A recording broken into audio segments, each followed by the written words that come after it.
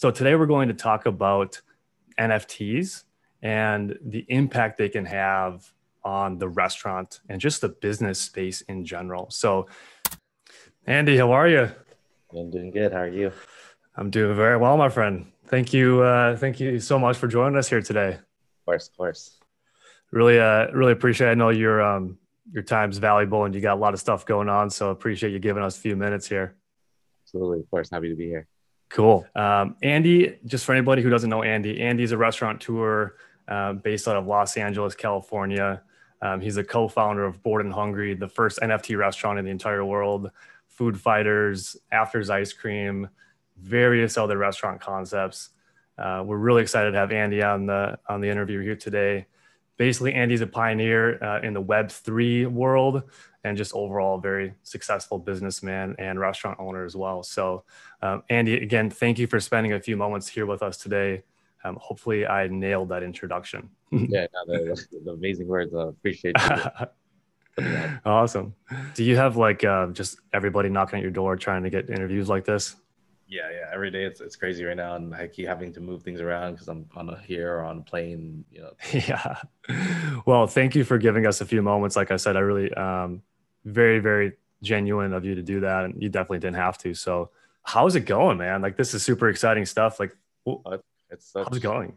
It's like a life changing experience has been for me. So it's um, learning a lot, and this this Web three world moves so fast, and it's crazy to see my name everywhere in Web three because you know I you know I came from the food industry, but now my, my name is being tagged in, in this Web three thing. So it's pretty yeah. Pretty Good for you, man. That's super cool. So, Andy, before we go into the details of NFTs and everything, give us some background. I mean, how did how did you get started in the restaurant space?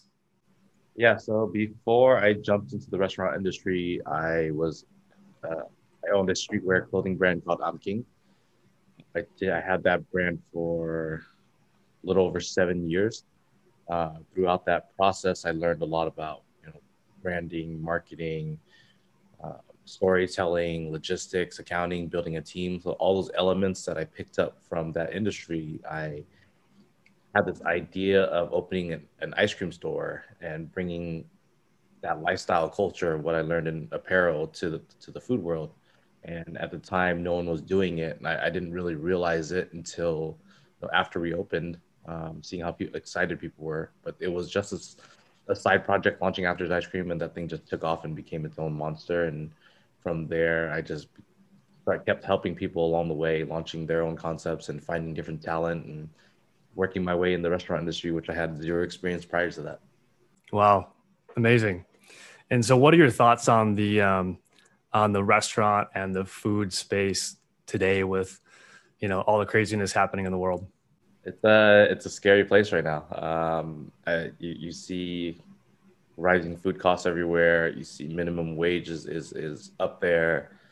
Um, people don't want to work in in the food and restaurant industry anymore. So you know you, you, the, the, the talent that you have is is not the best, and you know we're we're in the people you know the people serving business, and if you can't provide that quality, you know you can see everything just dwindle, and uh, it's it's been scary to see since uh, last year until now.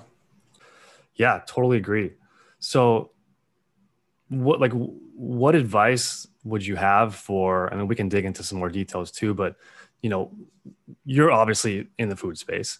And so there's there's turbulence in the food space right? There's obviously always uh, every market's always evolving and things are changing. Um, but over the past few years i think we've seen a lot of evolution happening in the food space and changes obviously with with all these things we're talking about. So um, with what you guys are doing, it's obviously something different. It's fun. It's cool. Uh, what have you seen in terms of the problems a lot of restaurant owners are facing right now around rising food costs and rising labor costs and maybe people not wanting to work and being lazy or, or whatever. W- what have you seen because you're doing some cool stuff? Have you seen a difference in that?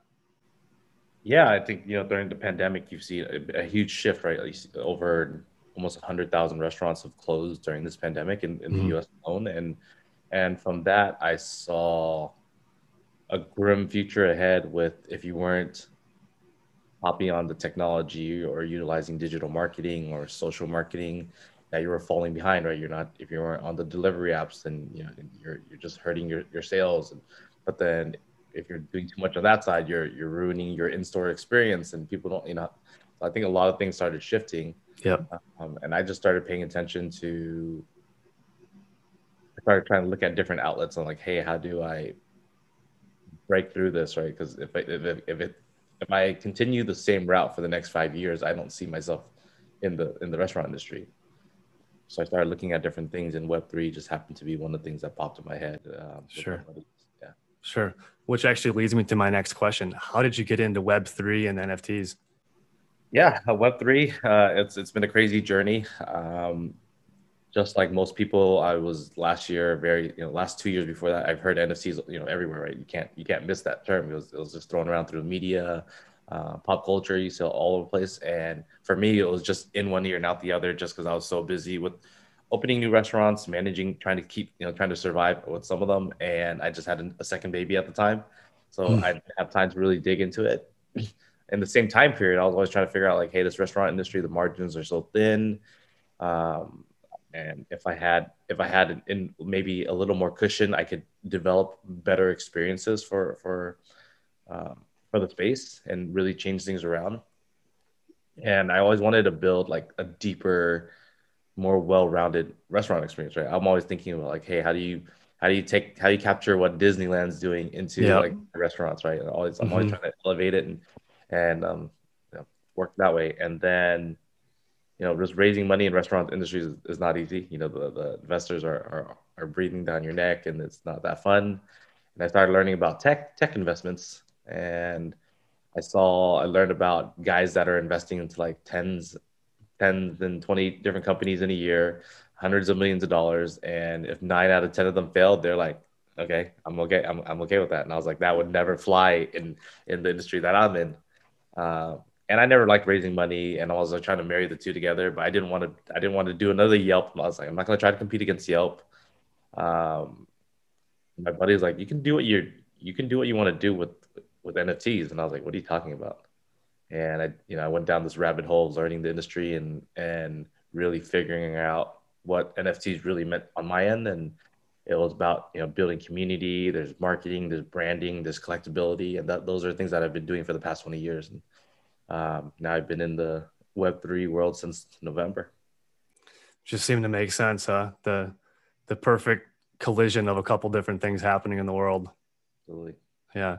So so how's it going? I mean, like I, have seen videos of your restaurant, people, you know, lines around the block. Um, how's business? Business is great. You know, uh, we originally planned to be just a pop up, just to make a statement with the IP usage of of the NFTs. Mm-hmm. And then it got so crazy that we decided to make it a permanent space. And now we're in ex- getting ready for expansion mode and signing deals overseas, which I'll probably announce in the next few months. But we're, we're wow. signed a few deals already, and it's going to be pretty crazy to see uh, what we do with the brand. That's amazing. Well, congratulations on that. That's just super exciting in general. Absolutely. Yeah. Wow. So you know, I bet there's a lot of restaurant owners watching this right now who are thinking, well, how do I how do I do what you're doing, right? Like, how do I start? What what what's an NFT? People are buying JPEGs for hundreds of thousands of dollars. Like, you know, there's probably a lot of people out there in the world who they don't have that kind of money to throw around. So, I guess like, you know, if for all the restaurant owners out there who just want to kind of get their feet wet or you know they want to for all the restaurant owners who just want to want to get started in this space um, what would you say like what's the first step like i mean they don't have to go out and buy and do everything that you're doing but like what are the lessons that you've learned through this that that anybody no matter how big or small their their restaurant is or how um, how great their connections are like what type of lessons would you say hey you can implement this in your business and you don't have to drop you know a couple hundred a couple hundred thousand bucks on an NFT. Of course, I I think what I did first was I went down this you know rabbit hole watching vid- like tons of YouTube videos, right? Watching Gary Vee, v videos, watching mm-hmm. other peers that were jumping in the space, and really paying attention to the things that they were doing and why they why they were successful in, in the industry.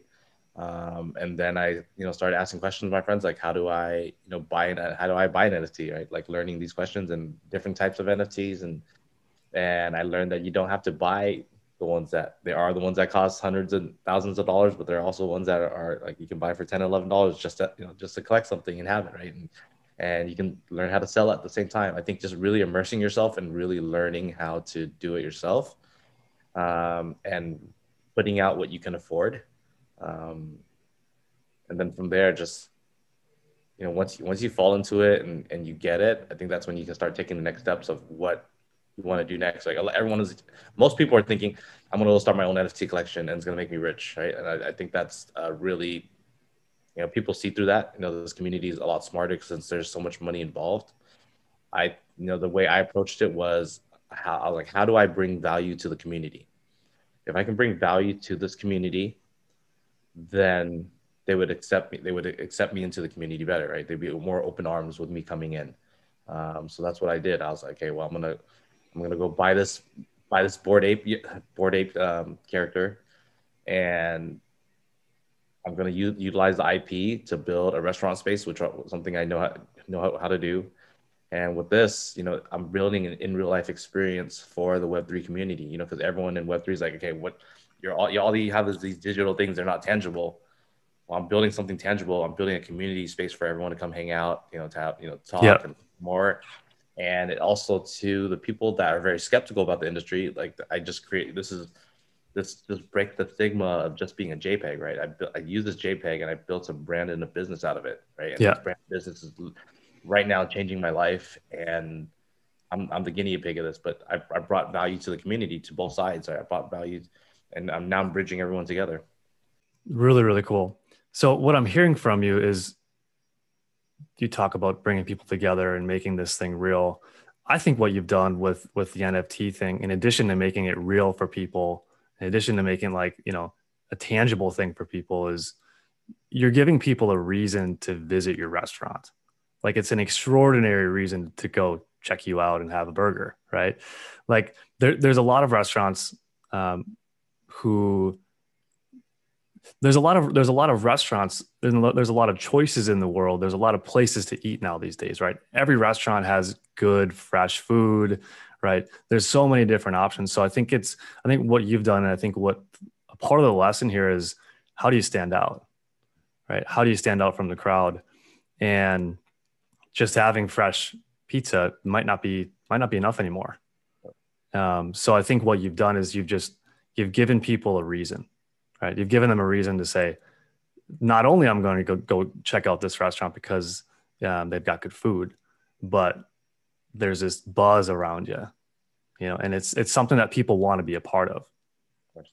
I think that's really amazing that you did that. Super cool. Um, so w- where do you think this goes from here? I mean, maybe it's hard to tell, but w- w- how do you see the restaurant space and NFTs? What, what's going to happen? Are you going to be the only one? You know, are people going to follow your follow your lead there? Yeah, they're watch they're watching. You know, now you know I with Bored and Hungry that was showing people what you could do with IP, and I think with my upcoming NFT project, which is called Food Fighters Universe, I'm gonna show.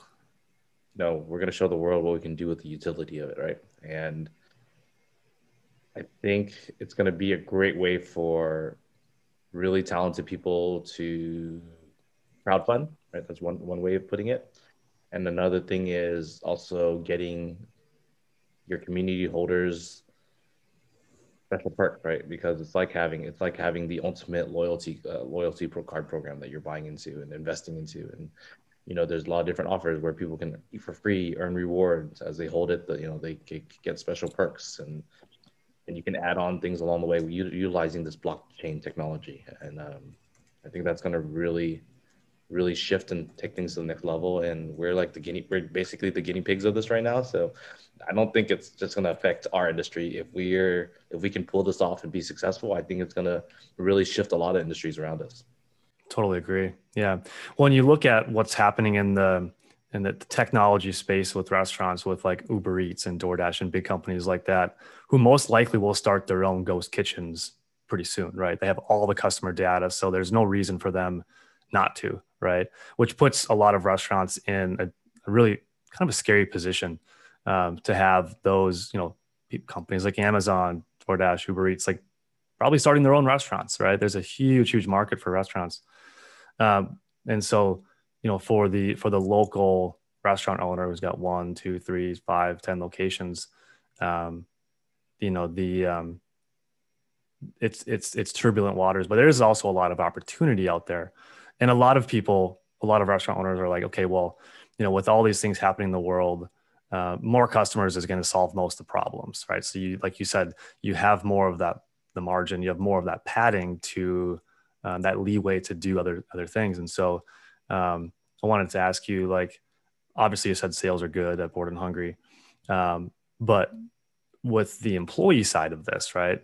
Um, a lot of restaurants or just businesses in general may have employee retention problems, people not showing up to interviews, people leaving. So um, I'm sure your employees love working there because it's the hottest, coolest thing. Talk talk to us a little bit about you know what the employees the retention has been like and how that differs from maybe other businesses you've been a part of um, right now just yeah of course since it's the, the coolest place that everyone's talking about of course they're going to enjoy working there i think with the technology of nfts and what i've learned through it is that you know when when if you have a proper collection that sells out you'll have a lot of finance you have a lot of cash to play with and I think with that cash, you can utilize it to really take care and pay a healthy salary to, to your staff. You can take care of their benefits. You can create you can create a better culture by taking you know, just the financial side, just taking care of people, right? By finding better real estate. And I think with that would build better morale, right? Better morale within your staff because you have you technically, you know, what I learned through watching what Gary Vee did with Fly Fish Club. Like if he opens his rest his fly fish restaurant and he doesn't for maybe a whole year he doesn't even have to serve a single customer and they could still be sustainable they still have enough cash flow to be sustainable just but you know but they they do want to be a successful restaurant at the same time right but i think with how the nft world's going the market's going that you could be healthy enough to, to sustain and survive even without having serving customers you can just have you know it's just a community space the vehicle that's just there mm-hmm. Yeah, so true. Yeah. I wanted to back up a little bit. Um, you mentioned your recommendation for restaurant owners and just business owners in general is from what I heard from you is just pay attention, right? Pay attention to people like Gary Vee when they're talking about these things because there's obviously potential there. People like that are talking about it. Um, who are like your top one, two, three, four people that you follow, you pay attention to to stay on top of these trends? Um, I watch a lot of Gary Vee, of course. Um, Bobby Hundreds, uh, he's done amazing in both the apparel field and the NFT world and community building. Uh, my buddy Jasper, who owns a brand called Fomos Mofos. Uh, I, I, follow a lot of the guys that have a track record outside of the NFT world, right? Because I, mm-hmm. it's a good transition for myself because I'm in the same realm of, I've had a track record in different fields before entering this NFT space. And I'm looking, you know, the guys that I'm watching are, you know, sharing, are very transparent and sharing their history and background. And that's, those are the ones that I'm investing into and, and I'm paying attention to and learning from at the same time. Very interesting. Okay. Right now, when it comes to um, Web3, um, NFTs, where do you think this goes? Like, I think we could talk, we could talk in in timelines, right? Like maybe we talk in one one year time timelines, we talk in like five years, and then like you know maybe ten years is even too far out. But where do you think this is heading? I mean, it seems like there's a lot of potential to change everything, right, around currency and how business is done and ownership. Where do you think this goes? I think it's evol- It's going to keep evolving right now. Right now, everyone sees it as a profile picture for them to to utilize to flex online. But I think I think the technology part of it's going to be very crucial, right, as it continues to evolve. Um, loyalty program, special perks, membership clubs, ver- verification that it's real, like those things. I think I think all those things are going to apply to it, right? Collectability. Um, there's people showing off their wallets. I think there's going to be so many different elements and endless. It's like endless on, on how this this these Web three like all moves around, and um, I know it's gonna be, it's gonna be fun to, to watch. And I don't know, it's, it's hard to say how it moves, but it's definitely moving. And every day, every day in this world, things change. So true, so true. Alrighty. Well, Andy, um, I wanted to thank you for for coming on the show today. Um, obviously, you've got some really exciting things going on, so we do appreciate your time. And I think in uh, in summary, what I've what I've taken from your conversation, because we're you know um, we're trying to give restaurant owners uh, you know some insights into what they can do to better their business. So a couple insights that I've learned from you on this call, um, and maybe you want to add to this as well. But number one, pay attention, right? Pay attention to what people are doing. Stay up to the times. Follow people like Gary Vee and everyone else who you mentioned there. Um, pay attention to what's going on because if you don't, it's so easy to slip behind. Um, second thing that I heard from you was around uh, employees and you know making sure that they feel like they're a part of something special. Um, obviously, that that helps for so many different reasons. Um, is there anything else that you'd like to add around some some main takeaways that you've learned in your career so far, and especially during this NFT space, is there anything major you'd say, hey, if I'm a restaurant owner, I would, focus on these three things? Uh, just the level, just the level of impact, right? Like right now, it's such a new space that everyone's paying attention. If you're gonna do something that's groundbreaking and and,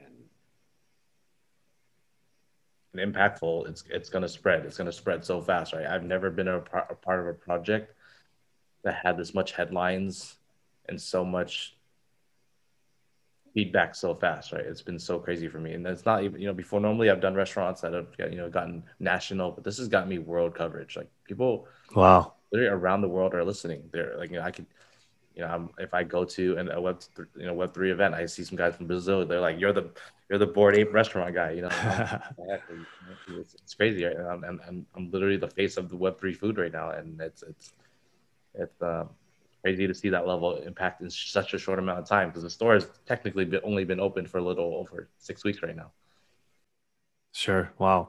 Yeah, and and I think you know there's a lot of business owners out there who maybe they can't afford a Bored Ape, right? Um, but let's say you're a restaurant owner and you're in a town of a couple hundred thousand people. Maybe you're even in a town of fifty thousand people. You know, you don't have to be in LA to make this stuff kind of blow up. Um, I'm just thinking off the top of my head you know there are other nfts that people could buy that don't don't cost them an arm and a leg and even though it's not as popular as the Bored Ape it's still an nft right still something new and different so i think if um, i think that could be something cool that a lot of people could a lot of restaurant owners could try and experiment with for sure. And even accepting, i think the big thing is even accepting crypto as payment which is what we're doing. We're the first restaurant to accept you know ethereum and apecoin as payment right? That's that's things that have never been done and we figured out in a short amount of time how to do it. And you know that that, that itself got headlines. So you know just just doing something different being innovative and trying to change things that's what we're doing. So true. I love that. I love that well andy um, again thank you for for joining us here today if you're watching this video thank you for watching the video go ahead and check out Bored and hungry um, go to los angeles pay a visit. Andy, uh, you're, you're a good dude. Thank you for, for joining us here today. And next time I'm in, I'm in LA, I'm going to have to go get me, uh, go get me a burger. oh, I'd love to, to, catch up and get, get lunch. Awesome, man. Thanks for your time today. All right. See ya. Yep. Cheers. Bye. Great weekend. You too.